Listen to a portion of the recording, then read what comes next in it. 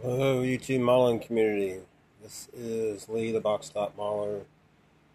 I'm still around.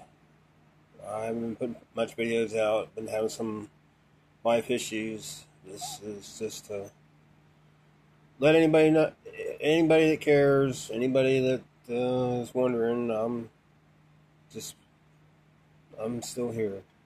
I just, like I said, just having some life issues.